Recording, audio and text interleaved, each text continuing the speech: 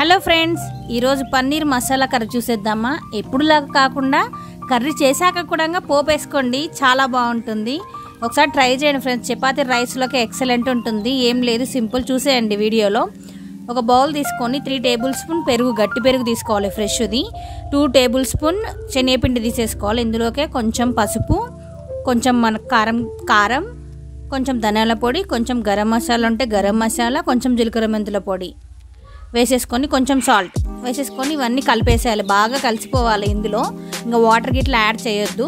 ఇది బాగా కలిసిపోయిన తర్వాత ఉల్లిగడ్డ ముక్కలు కొంచెం పెద్ద పెద్ద కట్ చేసుకొని వేసుకోండి. క్యాప్సికమ్ పీసెస్ కూడా కొంచెం పెద్ద పెద్దగా టమాటాలు కూడా కొంచెం పెద్దగా పన్నీర్ కూడా కొంచెం పెద్దగానే వేసుకోండి. సన్నగా వద్దు. అంతా తీసి ఇందులో కలిపేసుకొని ఒక పెన్నం పెట్టేసుకొని కొంచెం ఆయిల్ కొంచెం ఎక్కువ వేసుకోండి. వేసేసుకొని ఇప్పుడు కలుపుకున్న మిశ్రమాన్ని అంతా ఇందులో వేసేసుకొని కొద్దిగా ఒక టెన్ ఫిఫ్టీన్ మినిట్స్ ఉడకనియండి. ఆయిల్ పైకి వచ్చే వరకు.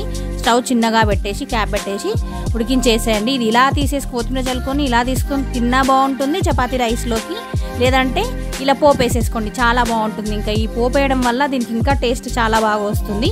చూడండి ఇలా ఆయిల్ పైకి వచ్చిన తర్వాత దీన్ని తీసేసి పక్కకెట్టేసి ఇప్పుడు ఈ కర్రీ హోటల్లో ఎంత బాగా టేస్ట్ ఉంటుందో అంత బాగా టేస్ట్ వచ్చేస్తుంది. ట్రై చేయండి. చూస్తుంటే నోరు ఊరిపోతుంది కదా. ట్రై చేయండి. పాలు అయిపోయిన తర్వాత పక్కకెట్టేసుకొని పెన్నం పెట్టుకొని కొంచెం ఆయిల్ కొంచెం జీలకర్ర ఉంటే జీలకర్ర ఒక రెండు మూడు పచ్చిమిర్చి ఒక పెద్ద సైజు ఆనియన్ సన్నగా కట్ చేసుకోవాలి. అల్లం వెల్లుల్ని సన్నగా కట్ చేసుకున్నాను. కొంచెం కరివేపాకు వేసుకోవాలి. ఇది ఆయిల్లో ఉడకనియాలి బాగా. తర్వాత ఉడికిన తర్వాత కొంచెం పసుపు వేసుకొని పచ్చివాసన పోయిన తర్వాత రెండు టమాటాలు మిక్సీ పట్టుకొని ఇందులో వేసేసుకోవాలి. ఇందులో అది కొంచెం పచ్చివాసన పోయిన తర్వాత టమాటాని కొంచెం ఉప్పు కారం ధనియాల పొడి వేసేసుకోవాలి. గరం మసాలా అందులో వేసాం కాబట్టి మనం చూసి వేసుకోండి ఇందులో. ఇలా వేసేసుకున్న తర్వాత కలిపేసి కొన్ని వాటర్ పోసి కలిపేసి కొద్దిసేపటి తర్వాత ఇది అంతా వేసేసుకోండి. చాలా బాగుంటుంది ఫైవ్ మినిట్స్ తర్వాత తీసుకోండి. చాలా బాగుంటుంది. Please like share subscribe